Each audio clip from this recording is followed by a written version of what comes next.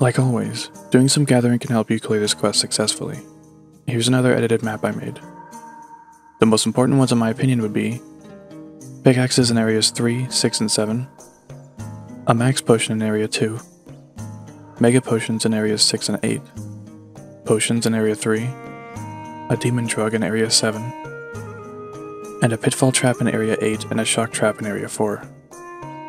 You can, of course, feel free to gather for anything else you may find helpful, such as the map and paintballs in areas 1 and 2, or whetstones in area 2, etc.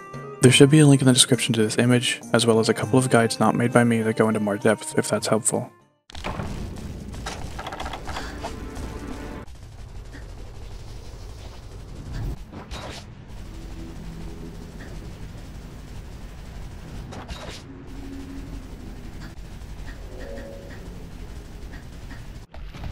I want to use the pitfall trap right away, otherwise I may not get a chance to. If he doesn't see you though, he may just leave the area before you alert him. So I run up until he turns towards me, then I put the trap down.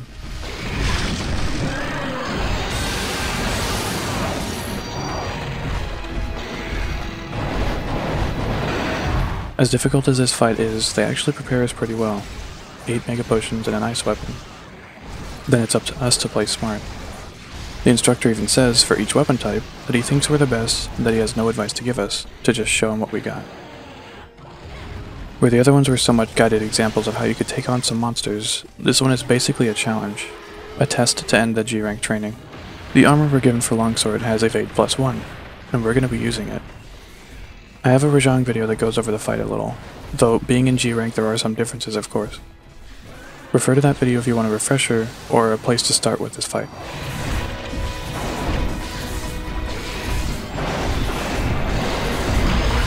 I'm running to this area because it gives us more room to move around. There's this area and the one to the south as well. Do not fight any monster in a tight area or a hallway type place. In most situations, it's just going to get you killed. Rajang is resetting. For some reason, he was considered out of bounds there.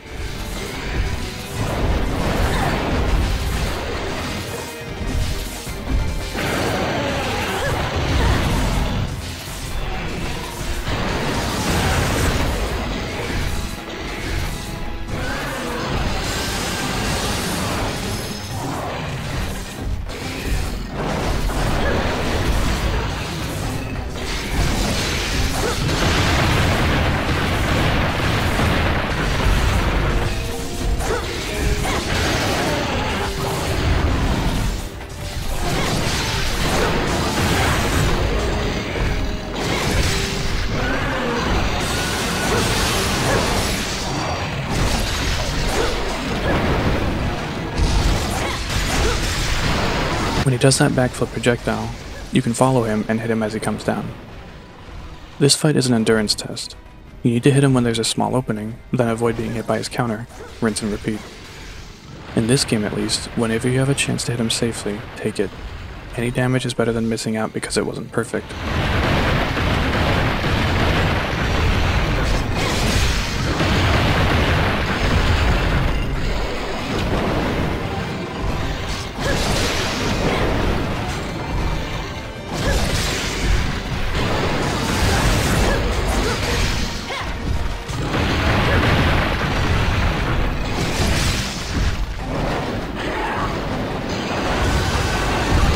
When you notice him doing that attack, where he slams down to the ground, you need to focus on the sound he's making, then roll right before he lands.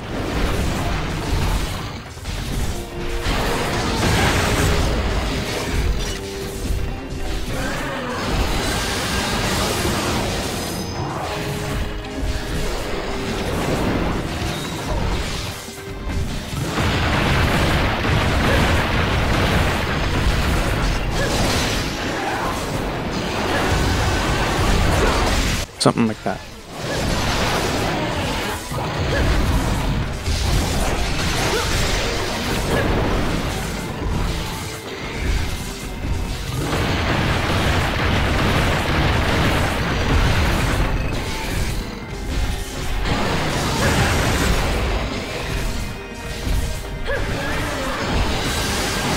Be really careful around his beam.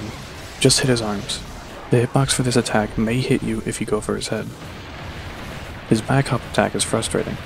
I feel like he hardly does it when he's not in rage, but once he is, you need to be very wary of it. You kinda need to play a little aggressively like this, rolling through his jumping slam attack, otherwise you'll miss out on the very few openings he has.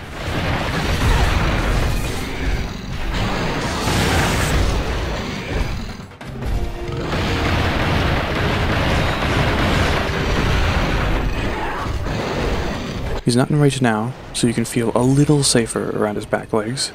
He can still back hop, but it just feels like it happens a lot less for me.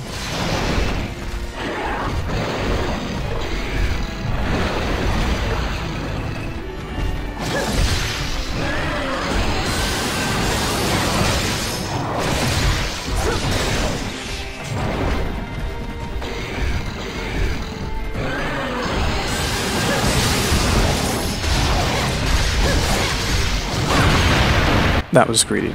Don't be too greedy.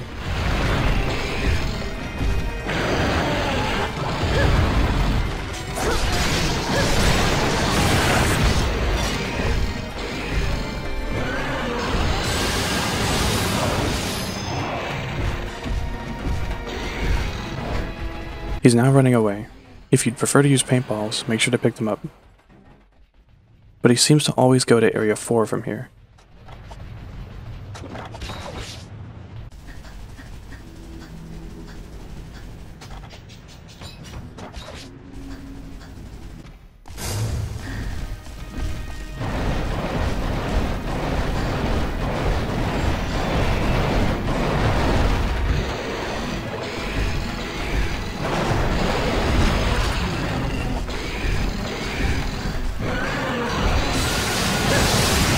It's hard to give advice for this fight, since it really is just a dance of hitting him when there's openings and focusing on not being hit.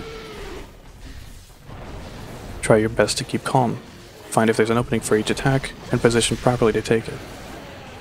You're bound to make mistakes. I made plenty in my time figuring this fight out, but you'll eventually piece it together. I hope my example fight gives you something to work from.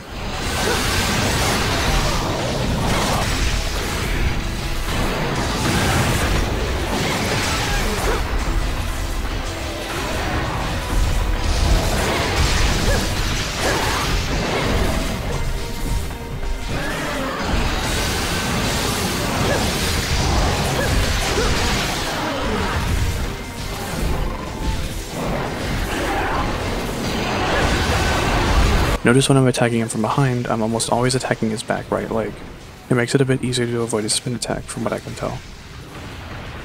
You also never want to attack or be directly behind him, as a back hop attack does a ton of damage and is very hard to avoid.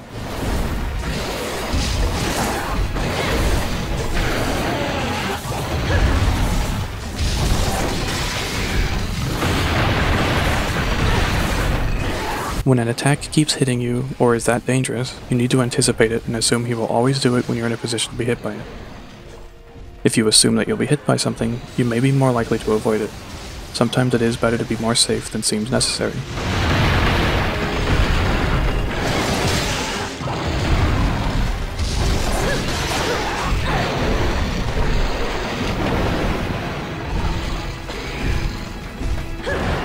Fortunately, there's no tracking on that move, or I'd be dead. That was a pretty good visualization of how that move works, though. He back hops, leaves a small dust cloud where he was, then slams down slightly in front of that small cloud, and then lands quite a bit ahead of that.